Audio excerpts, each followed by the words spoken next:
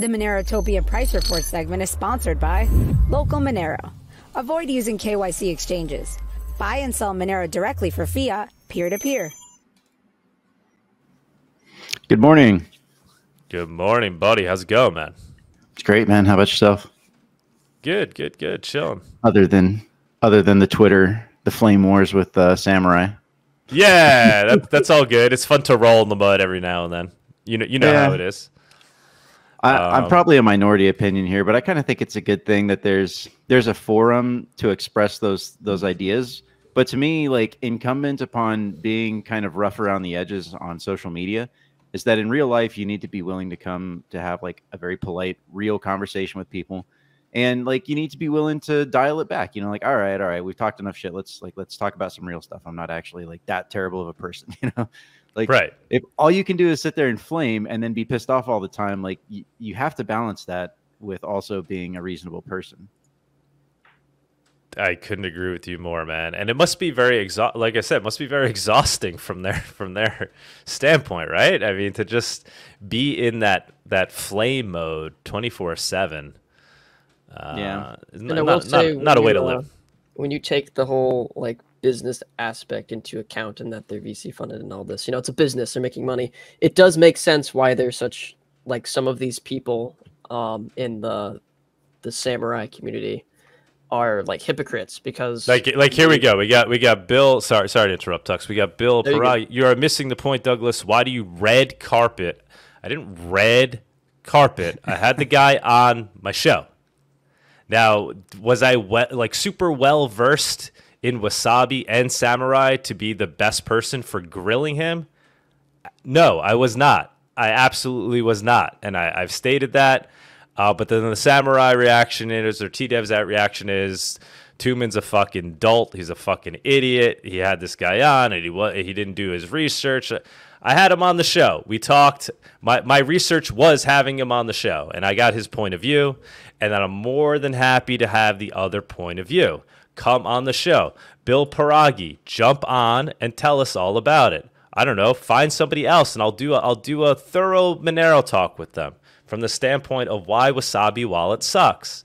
But don't sit here and crucify me for having a guy on a podcast that's about digital cash who built an app that's being used for Bitcoin privacy tech, right? I'm sure it has its flaws. We know it has its flaws. Samurai Wallet, I'm sure, comes with with some flaws as well, right? It's not it's not a perfect piece of technology.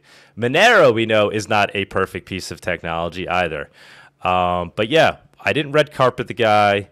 Um, you cover your ass saying it's about free speech. It is about free speech, man. Or you know, it's about me. Want that I, I I run the Monero Talk podcast. I gotta have whoever the fuck I want on the show. you don't have you don't have to listen to it. You don't have to watch it. You don't have to gauge in it. I know it pisses Sounds you off that that I had your competitor on the show, but just beat them on the merits. Beat them on the merits. You're Sounds more like than gatekeeping to me.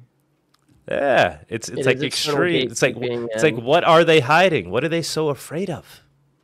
Listen, I wouldn't want to go up against the Samurai devs, and although I'm not a developer, um, you know, I consider myself like a somewhat advanced pleb. I, I wouldn't want to have to debate those guys. like they're they're pretty smart. Um, I don't think I'd even want to debate the Wasabi guys. I, I mean, also I don't really, you know, I understand the basics of their protocol, but I wouldn't really want to have to debate them on the specifics of their implementation or which is better or anything like that. So I can understand why people sort of back down from them because um, these guys like they do take the time to go out there like when they're flaming on twitter they also one thing i do like about them is they do a good job of kind of like talking shit while also like bringing the technical arguments. But yeah i mean at that level like those guys are so far above our pleb level. Like how, how do we know? Like how the fuck do i know which of these guys is the best privacy or if either of them are even good privacy at all? So it really is just incumbent upon them to have a conversation with their competitors in front of everybody uh, because like how, how do any of us really know? We just don't. Like we're plebs you know? Please come on the show and explain it to us in terms we can understand and then debate each other right? So that we can see how you comport yourselves and, and see what kind of arguments you bring and and then uh, you know talk to our smart guys and we can be like all right monero smart guys what did y'all take away from this stuff? You know, from from a debate. But don't just like don't just gatekeep and, and say, "Oh, you're you're not allowed to have other people on the show, or we're gonna you talk shit about you because you had someone on the show." Like, it's not like he brought Craig fake Satoshi right on on Monero talk or anything. Right. Please.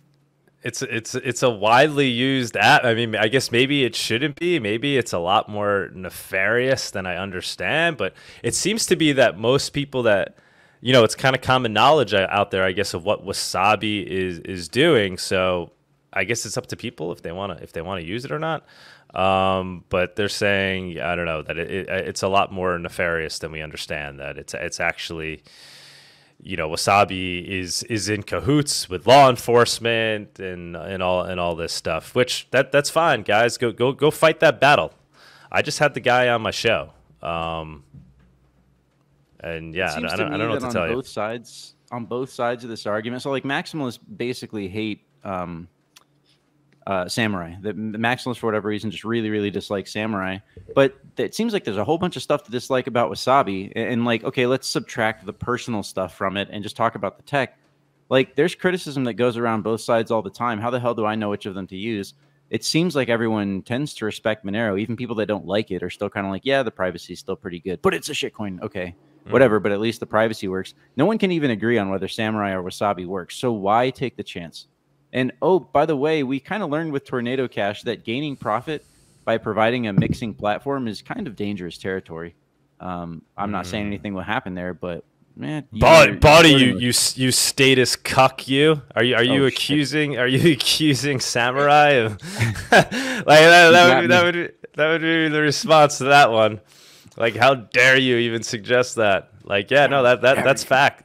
That that's Dog, facts, I was guys. I was agreeing with your um just like off of the whole the whole business thing earlier because it seems like a lot of the people in the like especially the TDEV guy it seems he's like so hypocritical where he's like this big bad boy cypherpunk but then shits on other projects and other people that are pushing the envelope forward with competing which not really competing but for their business competing products like Monero um, and other people that you know have people on the show who are competing with them uh, and I know they have it was the the BTC to XMR swaps, right? So they do have that. So uh, they're not totally like anti Monero or anything, but it I know that I know they kind of were before, and they've they backed off of that now. But it does seem super hypocritical that they're super gatekeepy, and they totally attack like so many individuals in the space who are just doing effectively the same thing they are is trying to push privacy products, but you know can't possibly have something competing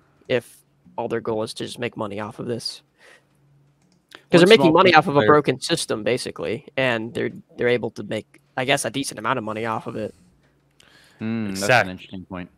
Yeah that's that's the point i'm trying to make. Yeah they're they're making money off of uh, selling away to, to wash your your bitcoin. Bitcoin is you know that doesn't function well as as a privacy tool so they make their money off offering a way for people to, to clean clean their Bitcoin. And so, you know, the Monero is competition with them in that respect because if everybody's using Monero, there's no, no need, need to wash your Bitcoin. To wash your Bitcoin. Yeah. A a for-profit company who makes money off of washing people's Bitcoin. Every time you go and use Samurai, you're paying fees to a company called Samurai they make money off of you because Bitcoin is a surveillance tool. Well, what is more interesting to me is the VC funding because we've seen what's happened to VC funded privacy companies in the past. Um, right, and what's what's most concerning about that is they claim to not be VC funded. Do we know which VCs? Uh, 1031 and Cypherpunk Holdings. Yeah, yeah, yeah. Those are the two recent ones. Yeah. Hmm. Any big names associated? Um, yeah, 1031 is uh, what's his name? Matt. Uh, what's that guy's name? Hmm. let me let me let me just do a Let's screen see. share for a sec, sec. Hold on a sec. Can I can I do a One... screen share here? Mm-hmm. Yep. Let me pull up. Do your... I need to stop mine? Yeah. Because right now I'm screen sharing. I mean, not live, but you know, in my personal. Oh, okay, never mind. Yeah, one small point is that um, the the atomic swaps that they do that Samurai does with Monero are for their toxic change. It's like kind of your I don't understand the implementation, but it's your leftover change from after doing the mixing. um, that's not really straightforward to mix again. So you they they implemented an atomic swap to Monero so that they could um oh Marty Bent Jesus It's Marty Bent. Marty N- Bent. knows because he invested in that VC. Right. So so so Vic is is a part owner of Samurai Wallet. I mean, I believe Marty Bent was um he was one of the promoters of oh what was what was one of the big uh, exchanges or one of the big bankruptcies of 2022. It was one of the first ones. Uh, I can't remember their name anymore. Already relegated to the to uh forgotten the forgotten bankruptcies. God, what was it called? It was one of the major bankruptcies that a lot of the maximalists had shilled. Doesn't matter. so yeah, here here if you go on the Samurai page, we are privacy activists. We are privacy activists who have dedicated our lives to creating the software that Silicon Valley will never build, the regulators will never allow, and the VCs will never invest in. You guys are VC. You guys have VC investors. You got right. I mean, like, like how, like that's that's literally your about section on your on your on your page. I mean, that's like that's very deceitful. To, to be fair, Marty Here- Bent isn't exactly like a TradFi VC. He's, you know, he, he's a Bitcoin maximalist that kind of, you know, got popular with his with his podcast, and then um, with his buddy, they they funded different projects. Um, Yeah, sure, but you know, you're you you have investors that you have to answer to, right? yeah, yeah, that's true. It's You're it's not like you're for community funded. You're a for-profit company. And then here, let's look at this one. Then we have Cypherpunk Holdings. Let's bring that let's bring that up. That's their other investor.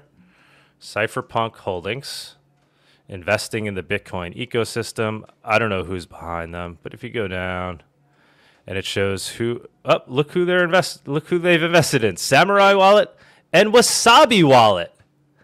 That's that's incredible, guys. so funny. They So they they're are just being sold owned. They're one of the companies that controls their company. Also has a say in Wasabi Wallet as part of the like. They, they- you know, so I mean, They're the like the fucking BlackRock of crypto. Yeah. Uh, they own all of these companies, even ones that are competing directly with each other. And then they have in their statement, we will never, uh, the regulators will never allow, and the VCs will never invest in.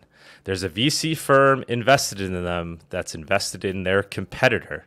Their competitor that's aligned with the chain analysis companies. So is Samurai Wallet effectively aligned with the chain analysis companies too? If you if you you know if you take that logic that far, I mean, it's just fucking ridiculous. They should change their about section and they should change their their marketing and the things they say because they're effectively lying to people. So, you know, they got good tech, but they're lying to people. Uh, and the other point is too, we will ne- Silicon Valley will never build. The regulators will never allow. One of the things that this turned into is criticism of Monero, calling Monero a statist coin, a statist project. Uh, you know, saying they bring up comply first. I don't know if you guys remember what that was, but it never it never gained traction. But it was this idea that there was a group that was going to try to in Monero that was, I guess, going to try to deal with regulators and whatnot, and I don't know, maybe try to help uh, exchanges figure out how to how to legally add Monero, whatever whatever it may be. But yes, um, Samurai Wallet would would never participate in anything like that. But I mean, here you have them here. Here we go. Samurai Wallet, Strike, and others ask FinCEN to withdraw pro- proposed rules tied to crypto mixing. So here it was Samurai Wallet working with Strike, who's like the most KYC, pro KYC crypto company that exists, right? Strike Like- is the most Mallers. statist company in all of the Bitcoin ecosystem. Like, so are literally one here's Samurai. Wallet teaming up with Strike to write a letter to the regulators, pleading with them, saying, please don't regulate us. That doesn't sound very cypherpunk to me. That doesn't sound like like the like the ultimate cypherpunks. And I get it. You're a company. You're doing what you got to do, which is fine. But then don't market yourself like you're not. You're not some group of cypherpunks building some decentralized privacy tech system. You're a for-profit company that's teaming up with companies in the space that you criticize for being pro KYC, for being pro chain analysis. You're literally teaming up with them to plead to regulators to ask them for permission. You don't get less cypherpunk than that. So, I mean, that's fine. I get do what you got to do, but don't act like you're something else. I want to I want to speak for a second on that comply first thing because that thing gets a lot of shit from people who don't even know what it was. The name is really really bad. It was literally just a group designed to show centralized exchanges that hey, you can use privacy coins with the existing regulation in place. It was not designed to make Monero or any other crypto project more compliant. It was designed to show that you can while following AML KYC stuff, you can have privacy coins because privacy coins have been constantly demonized and removed, and they want to make it more available. But that thing ended up falling through completely, and multiple people pulled out of it anyway because it just it didn't end up going through. And, and the name was really, really, really bad. The name scared a lot of people away because comply first doesn't make sense.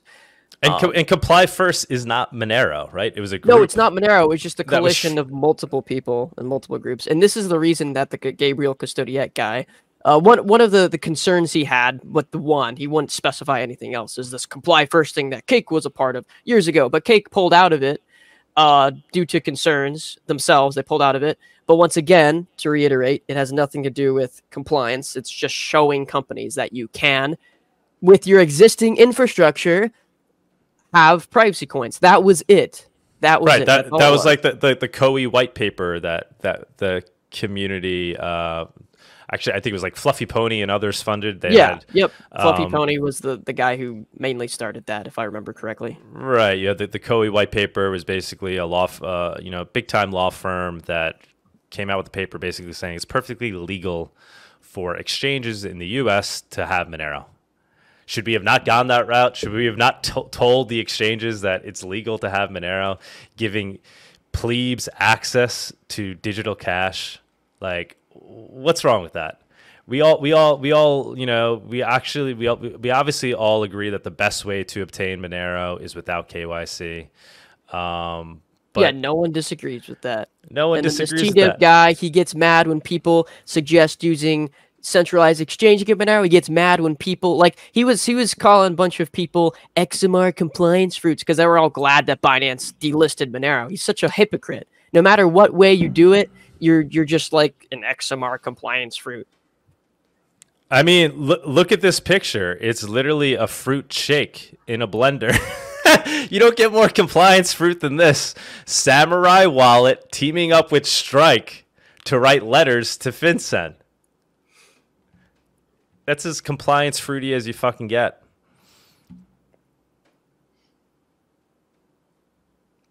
Just keep just keep it up there, guys. let, let the let the people see. Am I am I am I misinterpreting this? Is this is this wrong? Am I am I off base somewhere? No, I think they're just, they're just trolls and they have a business. They want to sell a product and they don't want competition. I think really that's it. That's what it mostly boils down to. And then they have their group, you know, like um people that are on the end. They have to like follow their uh their general consensus on interacting with certain people. Uh, Like what what would Gabriel Custodiet say about this? That Samurai Wallet teamed up with Strike and some of the the other most KYC pro KYC firms in the space to uh, to write to the regulators and plead with them. How is that not the equivalent of comply first? What, what, yeah, what I am mean, well. I'll never find out because I I basically I did an episode with this guy a couple months ago. Um, like, and part of it was me talking about Monero stuff. Part of it was me talking about cake stuff. And then a couple days before he was going to release it, he brought up uh, the comply first thing, and I explained it to him. And then I was like, okay, any anything else? And he, he just blankly said that cake doesn't align with his values, so he will not go forward with the episode. Blah blah blah. And then I I pressed him like, hey, what what are, what are you concerned about? What are these concerns? Wouldn't give me any information at all, nothing. And then he ended up just out of the blue, just blocking me completely on Twitter, uh, and blocking Cake account too. So just like totally, totally, just like a backdoor thing. It's like it's almost like he's you know the TDIV guy was like telling him like, hey, you can't, you can't you can't involve cake now. You can't do do episode with them. It's not okay. It, wa- it was Yeah, him. It was like him not. the Ha- background telling him no. yeah, it was him not having the balls to talk to you because he was scared that Big Daddy T Dev was going to yell at him.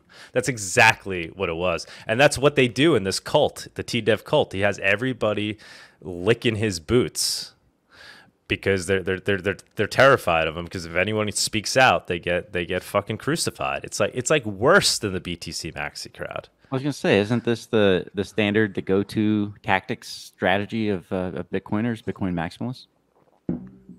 One The hundred playbook we've percent. seen over and over again. Which is funny because he's been attacked like ruthlessly by the maximalists, or I mean, just samurai in general has been attacked so much by Bitcoin maximalists. Maybe he's uh, traumatized, you know. So hurt people hurt people. It's true. He's he's definitely a hurt person. You know, with the All right. compliance stuff, I think it's really interesting how it's not about the regulations. It's very clearly not about the regulations because um, there there was that paper uh, about Monero and about how compliant, like you can be compliant with Monero. And then there's other information, even from government sources itself. Um, the Office of the Comptroller of the Currency of the United States, which is like the lead regulator for United States banks, they had said back in 2020, I believe it was 2020, they said that um, that that even anonymity enhanced cryptos um, could be compliant. Um, they effectively made a comparison to cash and said that they have robust procedures in place um, for financial institutions to be able to comply. And so it's it's not about the regulations; it's about the effect uh, of of what Monero and what true privacy does to their sort of deep state systems, to their to the things that they don't admit out out in the open the it, Monero defeats a lot of that, and so it's it, it has to be removed, right? It has to be taken off of Binance. It's probably going to get delisted across Europe, um, and so it's like okay, it's it's not about the regulations. It's it's about whether or not they can spy on you, and the regulations are just the excuse. You know, they got millions of them, so that's that's just the excuse that they can insert um, to create a narrative when they need to. if you find yourself uh, a quote a quote unquote privacy tech advocate, you're part of the samurai clan cult, and you're out there calling Monero a statist project, you've completely lost the fucking plot. You are working for a for-profit company that washes Bitcoin, that offers people a service for cleaning Bitcoin because Bitcoin does not work as a privacy tool. So you're promoting this for profit company while bashing a truly decentralized cypherpunk money and calling it statist. You have completely lost the fucking plot. As you can see here, if you go to the website complyfirst.org, you can actually see what this was about. And it was only about showing existing companies that you can use privacy coins while it, you know, working with the existing regulation. And furthermore, users of transparent networks such as Bitcoin and Ethereum may also adopt certain privacy functionality that compliance professionals and regulators need to account for. So, you know, uh, there's a lot of, you know, unfortunately, much of the discourse on privacy driven cryptocurrency is clouded by lack of deep and nuanced technical understanding of these projects, which can differ significantly from better understood public ledger projects such as Bitcoin and Ethereum. Without knowledge of the full workings, capabilities of such products, it becomes difficult to provide concrete and actionable guidance to compliance professionals regulators. So it was basically um, these these companies just didn't want to deal with the privacy coins because they they didn't know how to they're scared of it because you know privacy blah blah blah but then they also don't know how to deal with it with their existing system so it was really just a thing to try and get privacy coins um, to be accepted more in the mainstream and obviously no one no one is saying no one is saying that getting kyc coins is the best but getting KYC privacy coin is still better than getting a KYC Bitcoin, right? So at the end of Yeah, the I day, don't, I don't I don't see how you could disagree with that. Um, it's like taking cash out of a bank. Is it better to get the cash peer to peer? Sure, the bank so the bank doesn't even know like you have it. But when you you take the cash out of the bank, they don't know what you do with it afterwards. And so you're getting some freedom there. Is it the most ideal way? No. But it is an on ramp for people who maybe aren't ready for the most ideal way yet. And it doesn't matter. It's all moot. I mean, Monero is being delisted from all, all major exchanges, and here we are. Uh, you know, we're, we're moving along. I mean, you don't get le- less status than that. Uh, Monero is the complete opposite. It's the most hated coin by governments, and the Monero community is taking it in stride, embracing it, and now building tech that will allow us to exist outside of the fiat system. I think Samurai, I'm pretty sure I've heard them brag about how no Samurai mixed coin has ever been rejected from an exchange. Hmm. Interesting. I don't know if they still brag about that, but they definitely have in the past. I mean, yeah. Once again, here's me not knowing enough, but isn't it cl- isn't it known that a coin was previously coin joined? Like it's it's known, right? Yeah, um, I think it's more so. The Samurai implementation is that it's a large pool, and you can't know which coin. It's kind of like Tornado Cash in a way. It's like just a huge pool. So when coins come out, you can't be sure if that was like the first coin that went in or the most recent coin that went in. Whereas CoinJoin is more limited in its implementation, where you you have a certain number of peers, you do this mixing, some kind of round number of rounds of mixing, and then at the end, um, supposedly, you can't unwind it. Um, there's been there's been a number of articles and a number of criticisms that you can actually unwind it. I think probably only only the people that really understand this stuff would be able to tell you yes or no on that one. Hmm. Once again, guys, any samurai experts that are willing to, uh, you know, come up here and talk like like like a gentleman or a gentle lady, you're you're more than welcome. Tell us tell us the info without you know berating us. You're more than welcome to use this platform for that. All right, buddy. Let's let's get into price report. Otherwise, we'll be here all day. Okay. Uh, oh, run the intro for our our sponsors, Cake Wallet.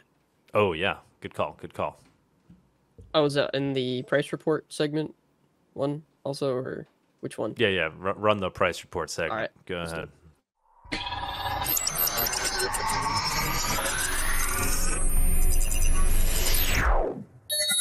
The Monerotopia Price Report segment is sponsored by Local Monero. Avoid using KYC exchanges. Buy and sell Monero directly for fiat, peer to peer.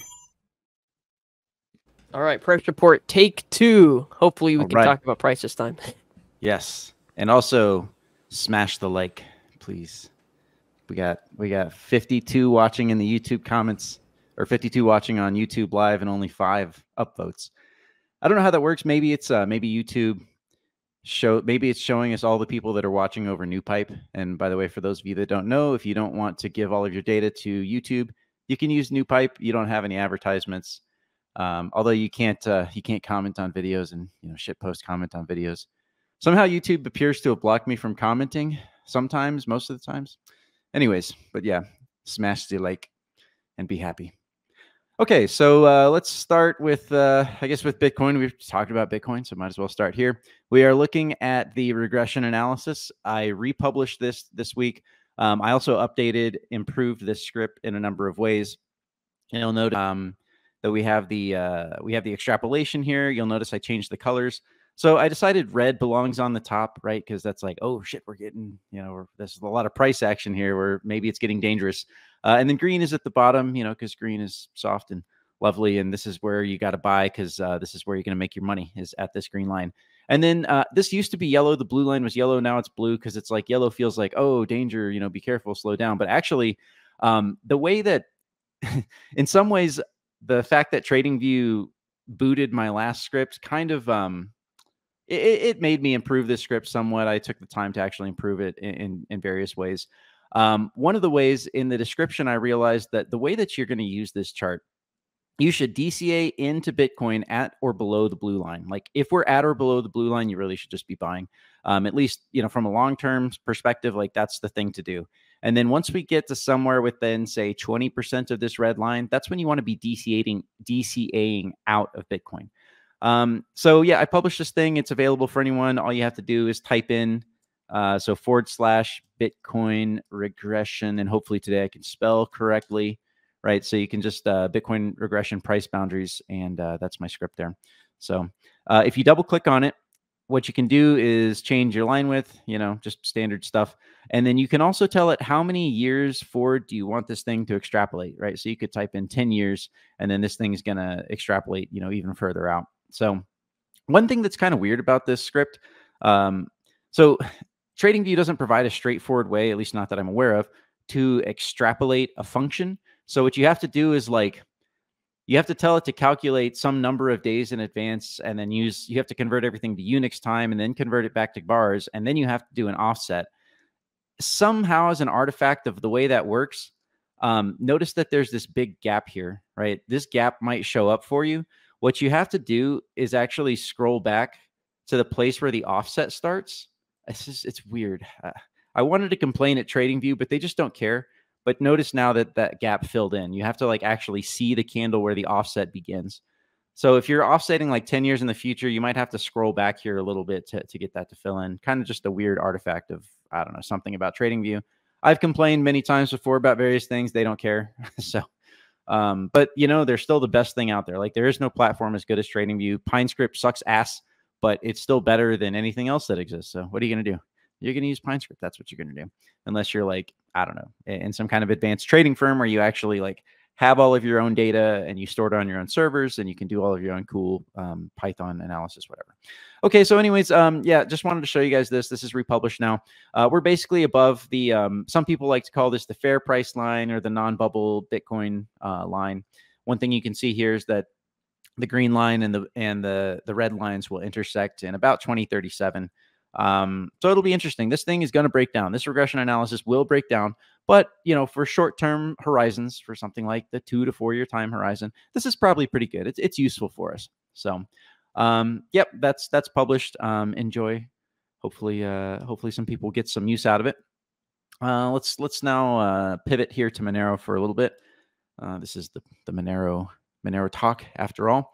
Uh, unfortunately, you know, as usual, there's not much to talk about when it comes to Monero price. We've suffered a little bit of a decline with the rest of the pullback on the markets that happened um, over the past week or so. Uh, we talked the last week about uh, we, we, talked last week about expecting the pullback in general to continue for Bitcoin and, and thus for the rest of crypto. So Monero has also pulled back somewhat, but on slightly happier horizons, we can look at the Bitcoin Monero ratio. And so we've been, you know, we kind of been saying, hey, back here we said, hey, this is kind of the beginning of uh, what might be a bottoming pattern, right? This is um, this is bullish divergence on the RSI. Let's just pull up the RSI here. Excuse me. Yeah, so we've got the RSI. Um, and so the RSI has been making higher lows, whereas price has been making lower lows. And in like traditional pleb level uh, technical analysis is analysis tea leaves reading. This is what you call bullish divergence and this is definitely a bottoming pattern from a technical standpoint. So you'll notice that surprise surprise as the bitcoin price has pulled back the monero uh, the monero to bitcoin ratio has gone up somewhat. And we talked about this last week um, or maybe it was two weeks ago. Effectively we ran the core or is it core relation analysis this is the wrong way to spell it. I do this even by myself. you guys have no idea how many times I've sat here and been like, where the fuck is the indicator? Scratch my head for a minute and be like, oh, wait, yeah, of course, I'm, I'm bad at spelling. And anyone that follows me on Twitter knows how bad I am at spelling. I don't know. Uh, anyways, kind of makes it difficult uh, as someone who does uh, light programming. Um, but at least with programming you get like little highlights and stuff that tell you that it's spelled wrong. Anyways um so yeah correlation coefficient which is the uh, the, the blue bars down here. So you'll notice effectively as we talked about a couple weeks ago that the monero to bitcoin ratio is anti-correlated with bitcoin's price and with the total crypto market cap. So as the total crypto market cap goes up the ratio of monero to bitcoin goes down Uh, and it's this is like a very very striking anti-correlation, and it basically tells you that um, yeah, uh, I mean for all the reasons we've talked about before, nefarious people in the background, most likely trying to prevent visibility of Monero. They don't want you buying Monero. They didn't get it for free. They don't like that it defeats their chain analysis, uh, which is lucrative for them on a number of fronts, not just the compliance front, but also on the we know where the funds are flowing in cryptocurrency front before the plebs do, and so we can front run that front running is like the name of the game uh, when it comes to um, to insider crypto trading, crypto dealings.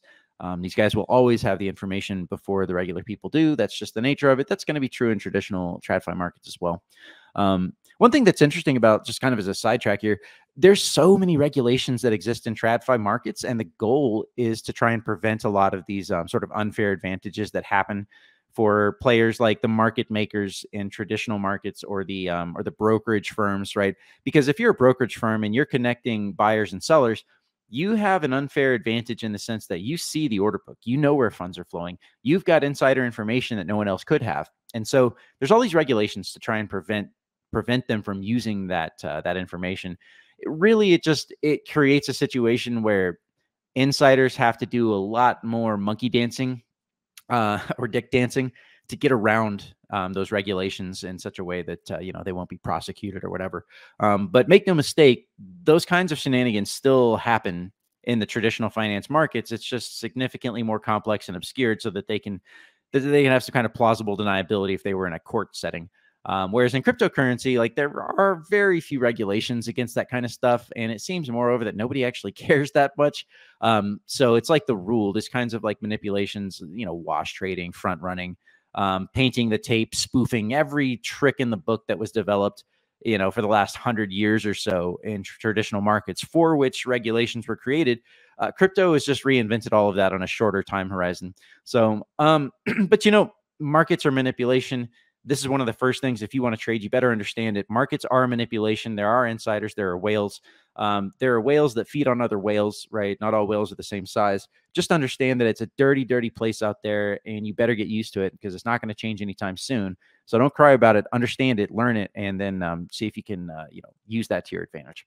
So anyways um, yeah we've had a lot of negative action on monero versus bitcoin for quite a while um, but this looks like a bombing pattern Oh no, tab just crashed. Man, I've been having tab crashes lately. I don't know what the hell is going on. Um, let's try and restore that. At least it restored quickly. Um, okay, okay. Let's see here. Uh, let's look at the the uh, the price divergences. There's actually nothing to look at here. Basically, oscillating around the zero point. This is kind of what you expect. This is also the absolute price divergence. It's not the volume weighted. I didn't get into um, beefing up this script. Um, I will do it at some point. It's it's man, it's it's like it's like homework. It there, there's there's it's not like there's an interesting thing being developed. Oh, cool, you know this, this, and that. It's like you've got to just like like a drone, like go through. Okay, we got to add this ticker and then that ticker and then that ticker, and probably I'm going to misspell it like you know 20 times. Uh, anyways, so I'll eventually get get around to beefing up the skip script and republishing it.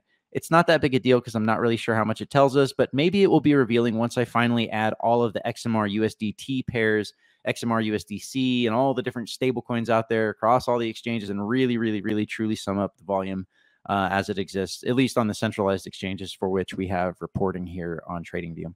Um, other than that, there's you know same story with the XMR versus ETH um, price. Again, this is probably some kind of long-term bottoming pattern.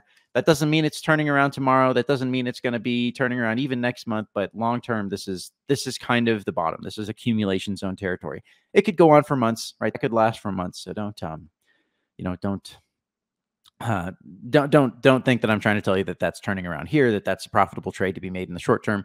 Uh, it would just be broadly regarded as accumulation. Um, you know, one thing that I forgot about this uh, to to mention here on the the um, the regression analysis. I also made this script so that you could you could do like you can use any Bitcoin chart now, um, right? So it still works. It used to be the case that you needed to use the BLX chart. I, I told you guys previously you have to use BLX or it's not going to be correct. I fixed that. Um, it's properly oriented around Unix time now. So, so the calculation is done no matter which chart it works. It works properly. So you can you can use that on any chart and you can use it on any oddball time frame. Like we could go to the two day chart and it'll still work for you, um, except for that weird gap thing I told you about. So uh, yeah, the this script is nice and, and beefy now. Should be good. Should be useful. And Uh, there's like a master's thesis written about it, not exactly, um, but the the publishing requirements they want you to really really explain your script. Uh, okay, so anyways, uh, putting that aside, this right here is the one hour Bitcoin USD chart. Um, actually, let's zoom out. Let's go to the daily um, for a minute just so we can get our bearings. I always like to to start big and then zoom in. Um, so we're looking here at the Bitcoin USD price chart. We've got our purple bands here. This is really, really is my target. Um, you know, for a long time, the blue lines were my target. Um, as as we got to that area and things, the macro still looked bullish. We still had money in the reverse repos. You know, there was still liquidity flowing. It was, hey, you know, the game is still on. The direction is still up. You know, after this pullback, um, showed that it wasn't going to be that much. Like the direction was up, especially after we got back into these blue bands here. Um, and so for the meantime, like I still tend to think, you know, and, and, it's it's like the farther up you go, the more dangerous it gets to to say that we're going to keep on going. It's easy just to be like we're going up and up and up and up, and be like, well, I was right ninety percent of the time, and okay, that was the top. Oops, right? And be like, well, but I was right most of the time. Yeah, but you were wrong at the most critical moment, which was the top. Um, at least that's kind of that's kind of the way I think about it, especially in terms of um, the way I like to trade, which is you know trying to sell the top. Um, I did actually exit um, one of my shitcoin positions recently. Um, took some very very nice profits on that. Um, it was kind of one of those situations where I was asking myself, okay, could it go higher? Yeah, potentially. Um, if I lose what I have now, would it be more painful to lose that, or more painful to watch the market continue pumping and I sold? And I said, well if I lose what I just made, like that will be more painful than than to watch the markets uh, continue pumping and miss out on some extra gains. So I basically sold that position. Um, okay, so basically these purple bands here is kind of what I'm looking at. That's really, really, really where I would where I would be top calling. Uh, it would be tentative, right? Who the hell knows if it's the top or not? Like it's not like we're hitting the top of the regression band or anything. Um, but this would be like my my point. Like hitting this area right here is like if I'm wrong and the Bitcoin price just goes stratospheric, parabolic, you will almost certainly have an opportunity to rebuy at 84,000 or 80,000. Bitcoin will pull back at some point to the 80,000 level, almost certainly, um, if it decides to just continue pumping. Um, but it's also a reasonably good chance, a good spot to say, hey, that that could be a top. There could be a longer washout here, you know, down to maybe the 40,000. Who knows, even 30,000, right? Um, so it's kind of the same logic that I had in 2021, where I said, okay, can I be certain that that this is the top? No, I don't know. But will I almost certainly, if I'm wrong, will I almost certainly have the opportunity to rebuy at the same level that I'm selling? And the answer to that question was yes. And since the downside risk was so great, it just seemed like a no brainer. I was like, no, this is like the game theory on this means sell. And I thought, man, if I understand that, if I like, if that's really truly the case for me here, there have to be other very smart people that know this as well, other corporations that know this as well. Um, and you know, sure enough, that turned out to be basically the top, right? 60,000 ish. Okay, so let's zoom in here to the one hour on Bitcoin chart. Um, yeah, so we basically continue pulling back, as we said last week, to to, to expect to continue pulling back um, for the rest of the week. That there was there was probably a, another down leg here to happen. Um, at this moment, looking on the short term chart, the one hour chart, uh, the statistical levels, uh, basically the short term lower standard deviation bands. So these bands right here, um, the the orange bands. Basically, price appears to be stabilizing. Um, kind of found some support down there, and then uh, right now is sort of establishing these lower bands here as as support. Uh, this is very classic wave magic kind of stuff. Um, this thing could shoot off to the top, or you know, it could kind of stay here in these bands. Because this thing has rolled over already, I would expect I wouldn't expect that Bitcoin price is just going to immediately try and shoot to the top side for 80,000. It's probably going to take some uh, some whiffling, some waffling in the price before it actually decides to make another macro move. Um, maybe like so for example, this is one way things could play out. Um, oh, and also I drew this line here. This line doesn't necessarily mean anything. Um, it's just again, it's a point of reference.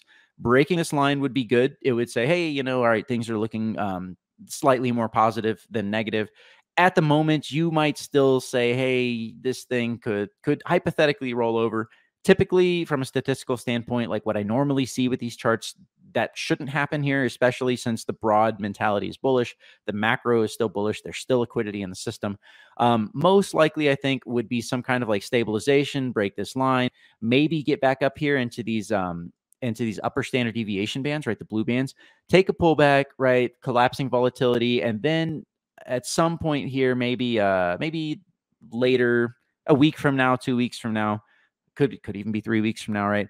After establishing some kind of um, stabilization, maybe make a break back to the upside here um, or it could break to the downside, right? Because that's that's really what collapsing volatility tells you. It says, hey, another big move is coming. You're not exactly sure which direction um, it's going to be, but collapsing volatility tells you that there's like this compressing action, like a spring, and that the market is going to basically move at some point. Um, you know what? Uh, also, a quick note here, guys. I am watching the YouTube comments uh, today, so if um, if you guys have any questions or want me to look at uh, anything in particular, shout out on the YouTube comments, and uh, and we'll pull it up.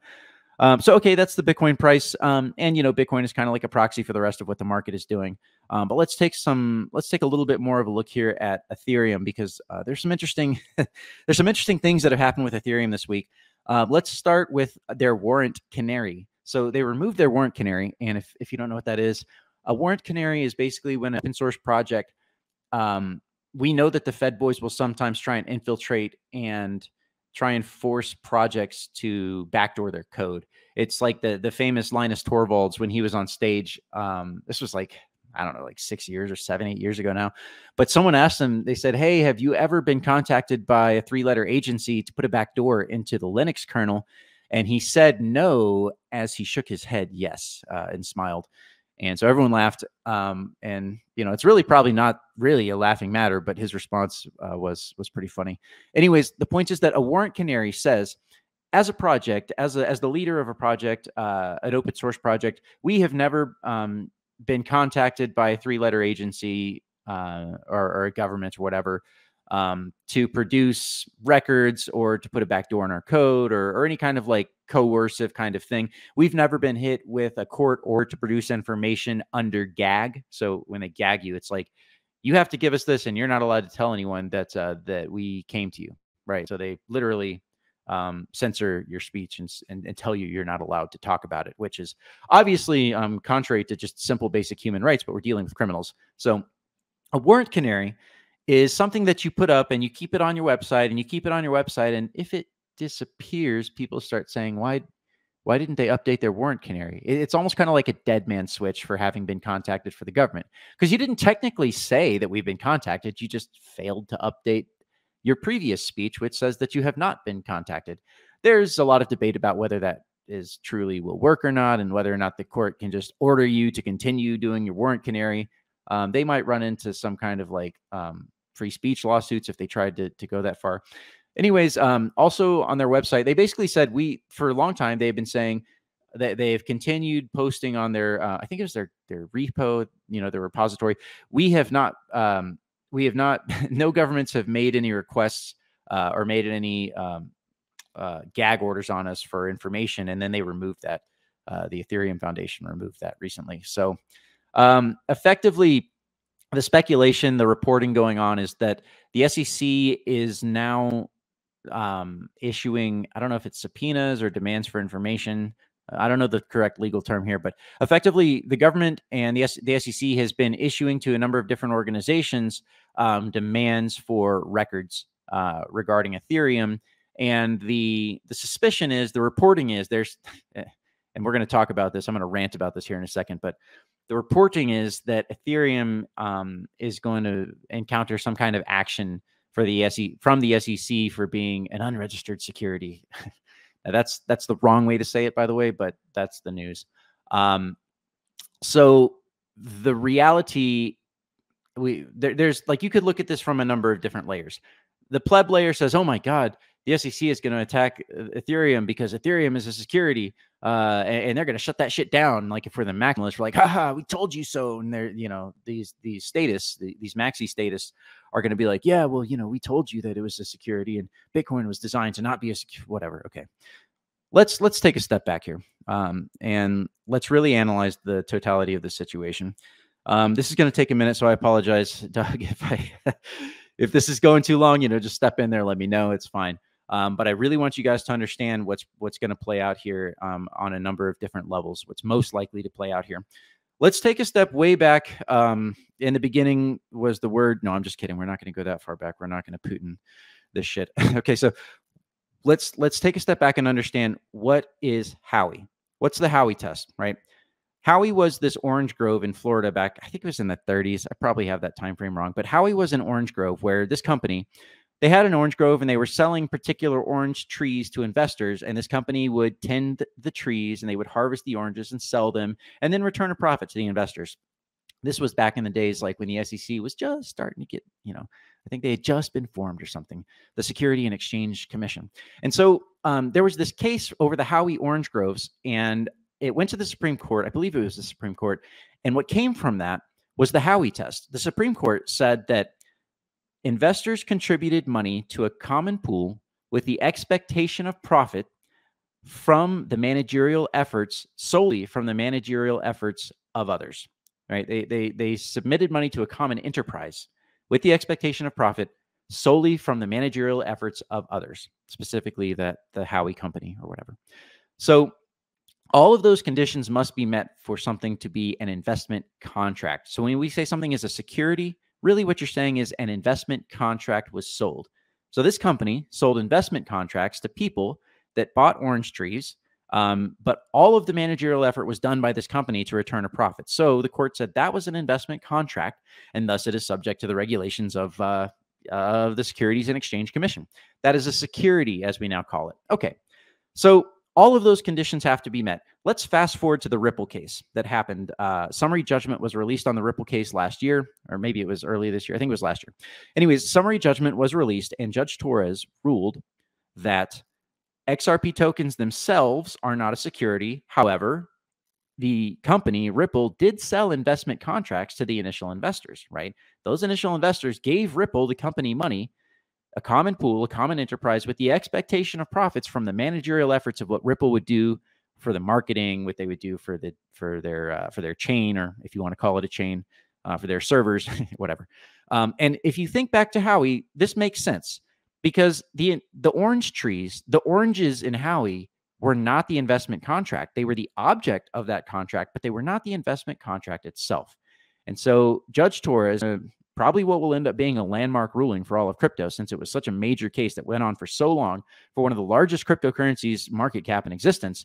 She said the tokens and the network themselves are not securities. Um, but but Ripple did sell investment contracts, right? So in the same way, the Ethereum Foundation did a 60% pre-mine before they launched. They sold 50% or sorry, they they sold out of the 100% of tokens in ETH. They pre-mined 60, they sold 50% of those to the market. They kept 10%, and then the rest of the tokens got mined with proof of work and now proof of stake. Okay.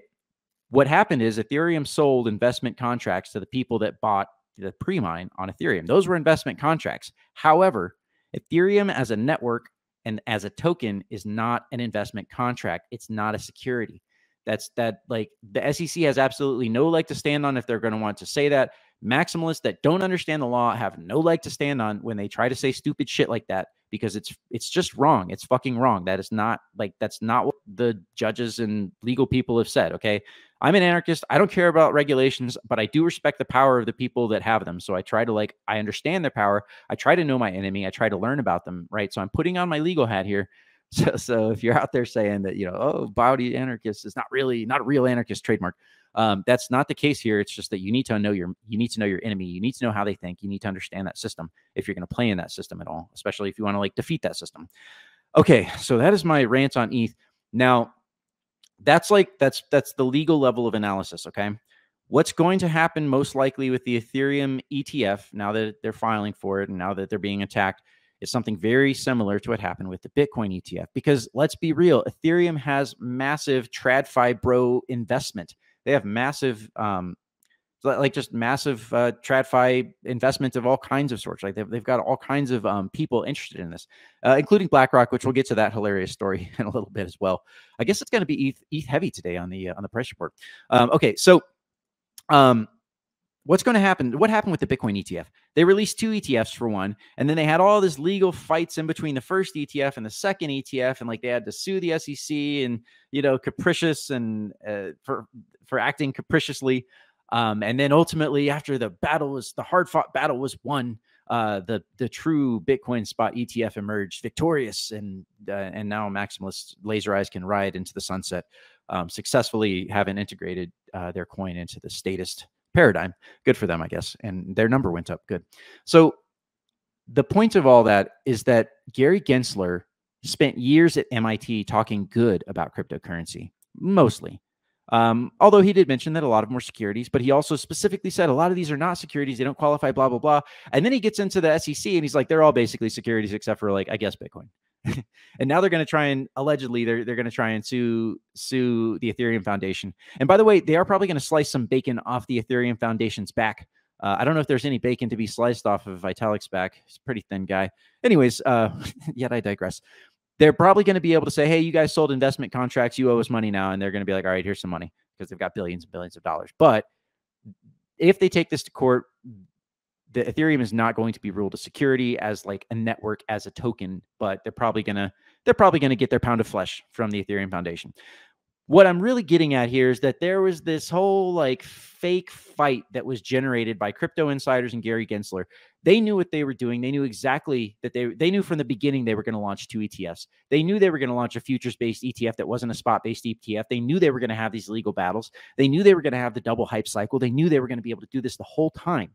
Like do can I can I prove that? No, this is Bounty Anarchist speculating right here. Of course, obviously I'm speculating, but this is like this is this is the reality okay? This is what they actually did and they're probably going to duplicate something similar for ethereum right here. So just know that. Just know that they're going to duplicate that same playbook for ethereum. They're going to you're going to have these legal fights you're going to have all the you know the battle and you're going to have the victory at the end right? So it'll be instructive to see how big the pullback is after this um, uh, sorry after the bitcoin etf uh, hype dies down a little bit um, today or this week the past week we had uh, some of the first major outflows from from the broad uh, ETF, the Bitcoin ETF ecosystem. Now, um, this week was the first like major major outflows that we saw, mostly led by Grayscale. Um, so, uh, speak about the patent owned by Reggie Middleton. I'm sorry, I can't actually speak to that. I, I know very little about uh, Reggie Middleton. I know the name. I've forgotten uh, what I had once read about him uh, back in the day. Um, ho- however, you know, if you want to uh, illuminate us, please. Um, okay, so uh, TXO UTXO uh, spelled you know, don't worry. UTXO says Vitalik is thin because he practices what he preaches. He has been eating their bugs for years. That's hilarious, bro. okay. Um, so uh, so yeah again uh, i think the ethereum rant here is basically over. Um, they're just going to double the whole charade that they did the legal charade and the hype cycle charade. So it'll be instructive to see what happens with the bitcoin etf and how far price pulls back. Um, but i mean you need the thing right? Like in, in terms of cryptocurrency you need the hype. You need to get people in the, the believers. Basically milk the laser eyes for about as much as can be milked now. Um, so probably there's going to be this pivot to eth now in terms of the fact that ETH is being attacked, legally speaking, uh, and it seems to be wanting to try to break down this very, very long line. Let's switch to the weekly here. This is a very long line. All right, it goes all the way back to 2017. Uh, this pleb line right here is uh, really is flirting with getting broken down. Um, and with the attacks happening, you know that that that might actually happen. This line might actually get broken down. It would be amazing actually to watch Ethereum versus Bitcoin fall down to this area um, that would be just massive, massive buying opportunity. Whether it gets that far, I don't know. Um, but I really just wanted to give you guys the Ethereum rant today on what's happening because there actually was a decent amount of news on Ethereum. Uh, the last of which here, so much, so much news here. The last of which was BlackRock uh, and uh, uh, Anon Anon Mon mentioned this earlier in the comments. He said that um, uh, that basically BlackRock had launched um, a uh, BlackRock launched a, hedge fund on Ethereum and, and has a like an Ethereum token associated with it. Um, they also launched like a stablecoin, I believe. So the, they called the BlackRock called their um, their Ethereum token um, the BlackRock USD Institutional Digital Liquidity Fund or BUIDL, BIDL uh, for an acronym it was hilarious because they they released this thing and then they just immediately started getting trolled with like Pepe memes, tornado cash outputs. So now like they're that address is now tainted with tornado cash outputs. Um, some guy registered big dick think.eth. Larry Fink is the guy that owns BlackRock. so they registered an Ethereum domain uh, domain name for for big dick think, I guess. Um, and yeah, apparently they made like it's like a few hundred thousand, maybe it was even a million dollars somehow that got sent that had nothing to do with BlackRock, just got sent as like trolling shit um, to their new to their new um, liquidity fund or their their new uh, hedge fund on Ethereum. Uh, so yeah, that was pretty funny. Um, I think with that, yes. Let's touch here real quick though on on the tornado cash outputs because now like they got tainted by tornado cash and it's like well a company as large as BlackRock is probably going to do some kind of filings with the government. Say, hey, by the way, you know, some this was us. We got sent some fucking some taint. We got sent some taint that stinks on uh, onto our contract here. You know, please don't. Um, you know, this is full disclosure, and and probably there's some like legal means carved out of of making like so so that their whole fund isn't now like you know going to end up in court or uh, Larry Fink going to jail, right? Like to, to, to think that some small amount of taint that you had nothing to do with now uh, for a company that big is actually going to defeat them and people thinking that Chainalysis can be defeated just by tainting other people's addresses that's um it's a bit silly it's a bit juvenile that's not really like how the real financial world and the legal work um but uh, yeah, okay. I guess that's enough talking about Ethereum, Ethereum on the Monero Talk podcast. Sorry for that that deviation there, guys. But that that was that to me that was the big news that happened. Um, so Oh, okay. Uh, let's see. So we talked about Bitcoin. We talked about Monero. Talked about the Ethereum news. Um, we're still looking here at the Bitcoin dominance hovering uh, right just above 50%. Um, I'm still like before before calling the fat lady having sung on this recent run up and expecting some major larger pullback. I really really want to see altcoins run. I think everybody wants to really really see altcoins run before the pullback happens. So that might be a good enough reason for why it doesn't. Uh, but uh, I can't really, you know, I can't really say that. It's just a note in my mind that I would say, hey, okay, keep that in mind. You know, that's that might be important. Um, stocks past week made another little all-time high. That's the Nasdaq. Sorry, let me zoom in here. Um, this is the S&P. So you'll notice actually on on a slightly longer time frame, we've got this big channel here with the S&P. Uh, kind of touched up here. This this what you would call a resistance, a rising resistance line. Um, yeah, I mean, but at the same time, if we extend this channel up here, uh, you know, Ethereum, uh, Ethereum, sorry, the S and P still has room to run there. So uh, new highs for the S and P for the Nasdaq. Something I've noticed for the past like six months now is that they don't go up together anymore. Like you'll see stocks pump while crypto hangs out or maybe pulls back, and then you'll see crypto pump as the Nasdaq and the S and P kind of uh, cool off a little bit. So they sort of they sort of counter pump like overall eh, you know on the weeks long time frame the months long time frame they are going up together but like in terms of like day to day it looks like they kind of counter pump right? One will pump while the other pauses then the other will pump um you know while while the other one pauses. So that's uh that's stocks um yeah we don't need to look any further on that one. Uh we'll just look at some of the macro stuff and be done call it a day. Uh this is the reverse repos right here and uh, yeah, it looks like again, it's still kind of like curving down. I think they're going to try and stretch this as long as they can um, going into the election. That seems like what they're looking at, which would kind of signal a Biden win, right? That's that's what that would signal. A Biden win means stability. I know that people don't want to hear that, but a Biden win basically means stability for financial markets, um, or and probably lower lower chances of tail risk. Usually, usually they'll they'll do some kind of changing of the guard associated with a big tail risk, right? Um, like when when Biden got into office, that's when Trump had initiated the COVID bullshit. Oh shit, I can't I always say that fucking word. I'm sorry. God, I'm sorry. I need to put a big note, sticky note on my desk that says, don't say this word. Um, anyway, so they did all that stuff, and then Biden came in, right? And he's like, Well, I'm just fixing the mess. Like they always do that. Oh, I'm just fixing the mess of the last guy, right? Uh, so if Biden wins, if the plan is for Biden to win, probably like some level of financial stability should be expected. Um, gold made another all-time high on Thursday. It looks like uh, two thousand two hundred twenty-four dollars. Okay, cool. Um, gold is gold is doing relatively okay now. Really, really was uh, kind of stuck for a long time while markets were, were really pumping. But that's that's just what gold does. Okay, let's see. I don't think there's anything else. Uh, we got the Dixie again. Dixie's just kind of hanging out, holding pattern, compressing volatility. Um, not too important at the moment. Although you'll notice, um, you know, as Dixie pumped, crypto pulled back a little bit for the past week. Okay. Um, it's not perfectly cor- anti-correlated, but it's slightly anti-correlated. Um, I guess uh, nothing happened with bonds. It's funny because bonds actually look similar to Dixie in the sense that it's just kind of like this compressing volatility pattern for the past year, maybe year and a half. Um, which is unsurprising, right? Dixie and bonds are, are, definitely the dollar index and bonds are, are related to each other.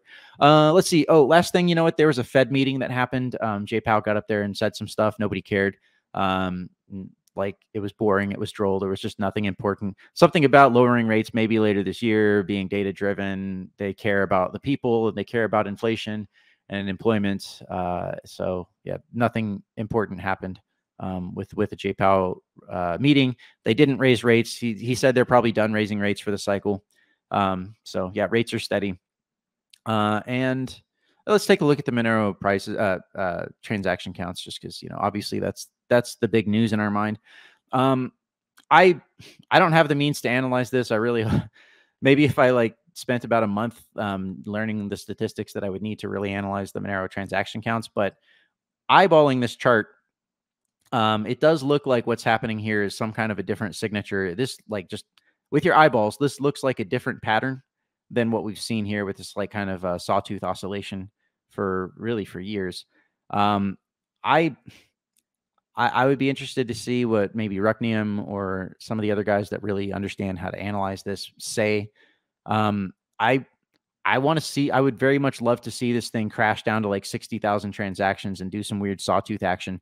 Um, because it seems like other cryptos like that's what happens. You get like weird sawtooth action where you get like spikes of transactions and then no one uses it for a couple days and then everyone uses it again. Like right now this is high and it's just staying high right? We're like well above 100000 so 110 like basically between 130 and 110000 transactions um, per day. I, I feel like if it crashed down like that would be like all right there's no one like attacking the chain right? No one's trying to like poison outputs or whatever but if you if you go high and then you stay high, it's like uh, I don't know. Um, I don't know what the math is or the st- statistics. I've heard nine to one, like they need to own basically ninety percent of the outputs to deterministically unwind the chain. But um, how much can they? Um, like how much? How much does it improve their probabilistic um, uh, output tracking if they own, say, one third of the outputs, or if they own like seventy percent of the outputs? Right. I'm sure that that helps. So um, yeah, I mean that's just kind of we're just looking at the transaction counts. That's like my personal thoughts. There are no conclusions that I that I draw from that. It's just kind of like me thinking out loud. Um, but at any rate, we're still above well above 100,000 transactions. Um, it seems like Monero the network works just fine. You know, I sent a transaction or two in the past week, so seems like uh, seems like everything's still working there. Um, and with that, I, I don't think I've got anything else to show you guys today. So let uh, let Mr. Pseudo, Mr. Tuman come back on and All take right. it away. All right, Thanks, man. Thank you, thank you, thank you, sir. Thanks, guys. Um, Tux, any any questions? Anything you anything you got? Not for me. Just always enjoy listening to Body's take on the market. He's he's always ten steps above everyone else in that regard. Thanks, bro. Um, Zano, can, can, can you take a look at that one? We talk about that sometimes, and th- this week it like it, it yeah, pumped me, with me, the uh with the f- with their upgrade. I'm writing that down right now because uh, yeah, we should start covering Zano. We should like look at the price of Zano every day. I mean, every time we do the price report now. It's it's yeah, super super small crypto. cap. Oh, it's a Z. Oh, of course. MEXC and CoinEx. Is that really the only place to trade on? Let's look at CoinEx because MEXC are scumbags. Um, all right, we're on the weekly. Let's go to the daily. Yeah, those are gains. Lately, 50%. Getting some pullback here. Uh, let's take a look at the wave magic. See what the wave magic says. I mean, the we got to go down to lower time frames. So low, right? I mean, it's it's a very small cap coin. Yeah, let's put up the volume here too. So Zano currently being three point eight five dollars, and then we're let's pin the uh, move to bring that Somebody's to the saying. Uh, Wownero. Yeah, that wow narrow was pumping like crazy. I think because it's getting added to cake. I don't know if there was other reasons as well. I'll I'll refrain from sharing my opinion on Wownero. Yeah. I just don't, don't like it. Uh, like there's already speculative degeneracy. Oh, okay. It might serve some interesting use cases from Monero in the sense that like uh, some it's people nice call it a test net. Yeah. So I mean, yeah, we have it is just net, a silly but... meme coin, but it is funny to me that it still has more usability than I mean most coins do because it has all the same privacy features Monero does. Do they? it's just dangerous. No, I don't think so. Yeah, that that would that would that would be a nice redeemable feature to have. I don't think they if do, they merge right? mine, I could like give them some leeway. Exactly. No, I don't believe they do. Like Monero Bros don't need to be dumping on each other speculatively in in the Wownero like forum. We there's so much other degenerative speculative bullshit out there that Yeah, that, that's what, that. Yeah, that's what I don't like about it. Like you see, like some some people like you know obviously really jumping on the on the pump wagon, and then it's always like, oh, it's just a joke, it's just a meme coin. Yeah, but you're you're misdirecting people. So I I, I don't like to to support that really. That being said, Wownero will be at Monerotopia, they were there last year, uh, and they'll be here again this year. Um, I think in an even more official capacity. Uh, they'll be giving a talk. So on memes. No, I'm just that's just logo. I, I don't I don't know. Um, the essentially the founder of of Wownero will yeah. will be uh, yeah, he runs the uh, giving a talk. cryptocurrency trading subreddit. We're good friends. yes. He's he's oh is is that are you being uh, Facetious. facetious there? Yeah. Yeah. Okay. Let's He's see a if good there's guy. more. I mean, my my my interactions have always been been been great. He's uh, I like John. I'm sure he's a friendly guy. I have no doubt about that. I, yeah, I don't, I don't know what your what your uh, drama has been over there, but yeah, but I do I do agree with you. I like, you know, hesitate to give it attention because it gets amu- uh, abused, um, and you got you know it's it turns into a pump and dump. So much more interested in projects that really kind of give back to the ecosystem in very real ways. I think it's cool that Wownero does implement the tech that that uh, that Monero is working on faster, you know, because it really doesn't care if things work or not. Um, so as a test net, I do think that's cool. But uh, you know, people out there that are saying like, "Wownero is going to flip Monero." Like, I, I know you're having fun. You're just trying to pump your bags. Uh, Do people actually say that? Yeah, obviously on Twitter, you know, people see their coin going up, but you know, everything goes out the window at that point. Uh, you know, they, they just start, they just try to pump it, um, and I, I just hate hate to feed into that in any way. I mean, it's just it's just horrible. I just have a heart like WoW is not a meme. I don't see WoW anywhere out there in the Twitter ecosystem except for like Monero related people. So like Dogecoin is known by plebs that don't even play in crypto. WoW is not like this meme, like this dog meme that draws people in, at least not from what I can see. Like maybe maybe I'm I'm obviously no one can see the entire market at once, but uh, I just don't see any reason to think that that the WoW meme brings people into Monero. It's it seems mostly to be meme like the niche meme meme market people and, and Monero people. Right. It's it's just bringing in Monero people to WoW. right. Like it's like that. That's that's a very good point. And then they're just gonna dump it and get more Monero. So, So, uh, be careful. looking- Be careful. Don't be on the side of the dump, guys. So looking at the uh, the Zano chart here, it uh, this is on MEXC, and then the situation seems to be about the same on CoinEx, which are the only two exchanges I saw here. Um, they're trading about ten thousand, uh, sorry, thirty thousand to hundred thousand dollars a day um, on each exchange. So that's and a hundred thousand would be like your max. So it's, I mean, really, it's trading about thirty to fifty thousand dollars of total volume per day. That's really, really low. that's that's very, very low liquidity volume. However, um, people should under like when you say, "Oh, it's low liquidity," that's just a low liquidity shitcoin. Okay, understand that the lowest when Bitcoin was at its lowest liquidity, it had its highest price gains. Because when there is no liquidity and people suddenly decide, "I want to buy this thing," there the price goes vertical, right? Because something has to give, and when there's no liquidity, the only thing that can give is price. So your highest potential for gains are when the liquidity is the lowest, um, particularly when the sell side liquidity is the lowest. To be as specific as possible, but um, anyways, yeah, I mean, you could you could you could pick up some Zano here. Maybe um, actually, I made a mental note uh, and a and a real note to um to at some point here. I think it's probably worth a punt, right? It's worth to pick up some Zano. Probably worth it to pick up some Dark, DarkFi hasn't launched anything yet, right? So, but whenever DarkFi does launch, is launch, I mean, probably just best to mine it, right? That's uh, they're going to merge mine with Monero. So, um, let's see. Someone asked about Dero. Yeah, Dero actually did perform um, recently. Let's take a look at CoinEx, I guess. Dero volumes are. Hang on a second here. Gotta move the volume ticker down.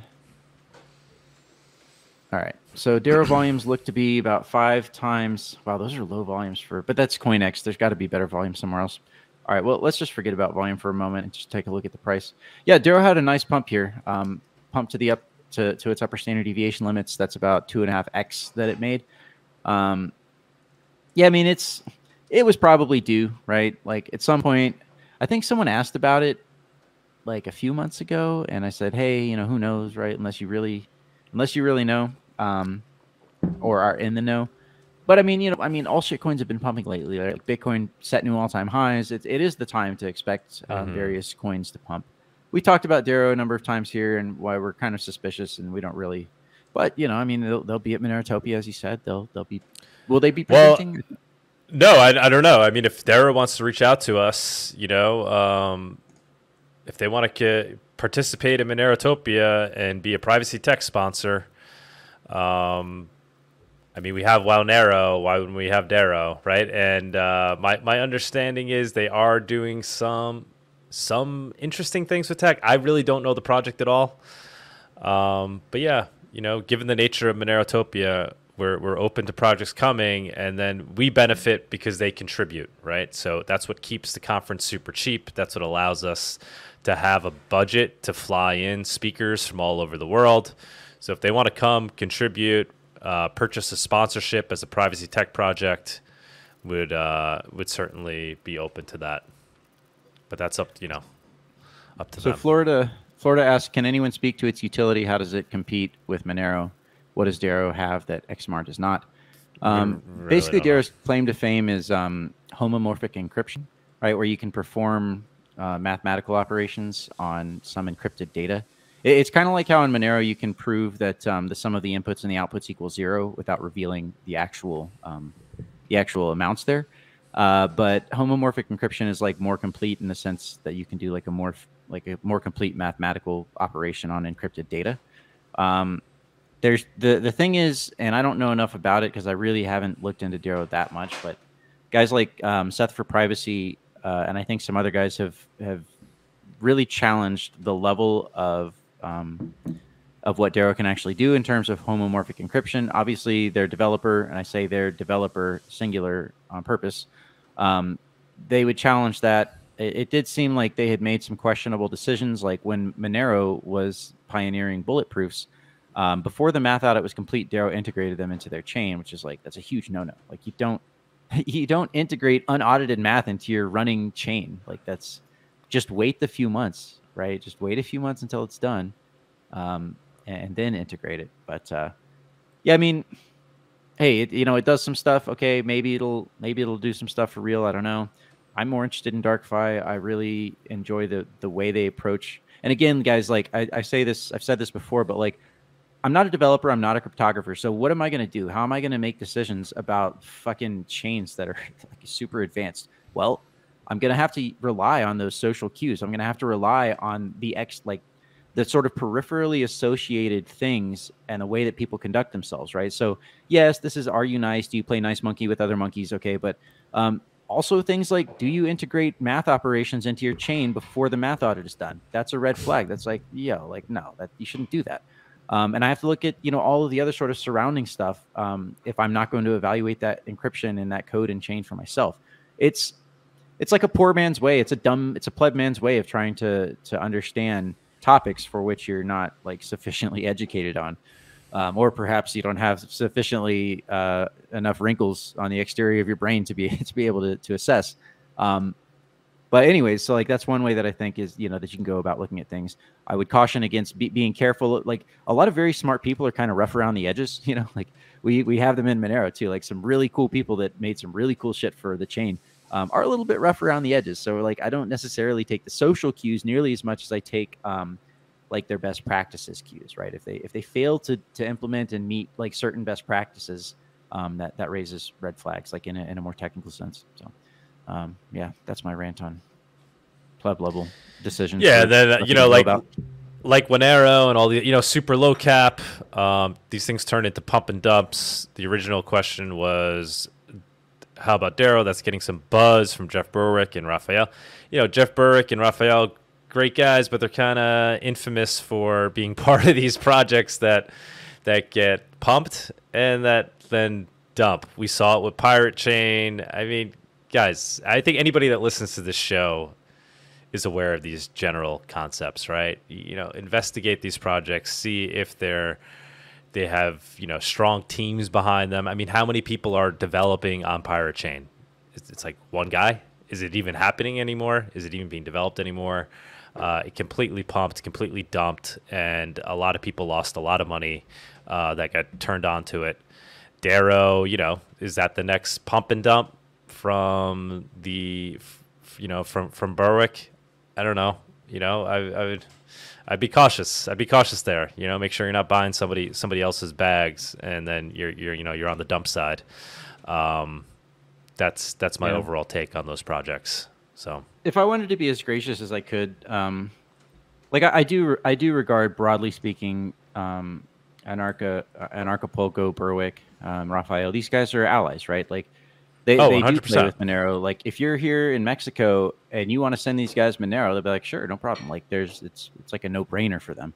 Um, and you also have to understand that as you get more popular, you start to influence the market. So like um, you know, we're kind of like a, a somewhat small show here, and probably not that many people listen to um, to my price advice. But hypothetically, if I had hundred thousand followers and I started recommending low cap coins that could pump, and I genuinely was like, yeah, um, you know, this coin or whatever, right? Like I won't say any particular coins, um, but yeah, some low cap coin that that I got into early, and I genuinely believe it's going to go up. Well, if I've got hundred thousand followers, I can sort of make that happen, even if just by accident. So, um, like that that is like a No, problem but- that you run into.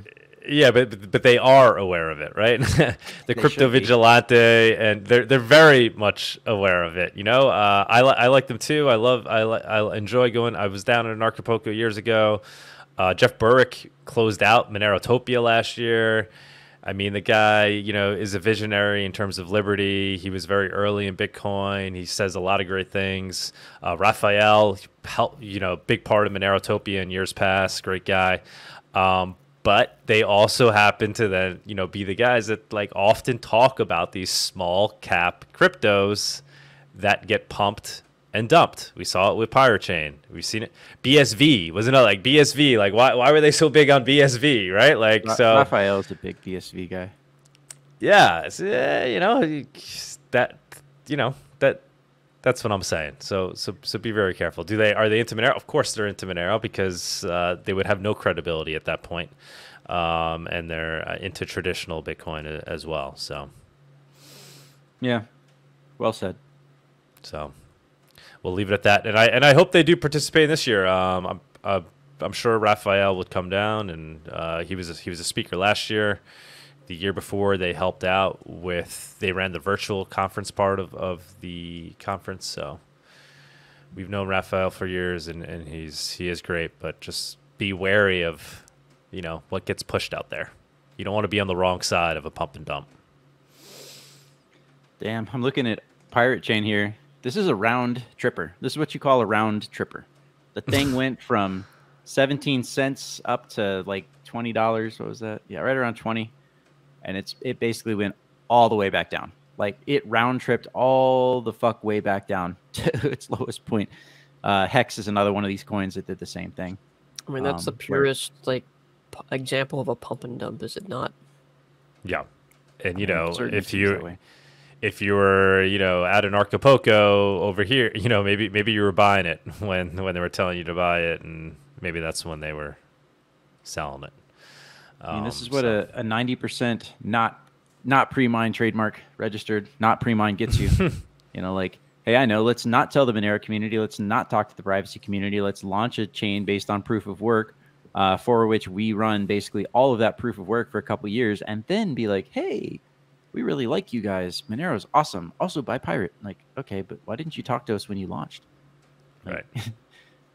just secret mine not secret i mean it was they still published things like it was still out there in the ether and the internet right but yeah i mean that's that's what happens like when you get such highly centralized supply unless you're very very careful to manage it or get massive attention like ripple ripple did you know they pre-mine 100% but they had massive massive attention um, for the entire ecosystem and really really good narratives um, we're the banker coin right this is the coin that we made for the banks are going to adopt it that was never true there was never real like actual banking partnerships.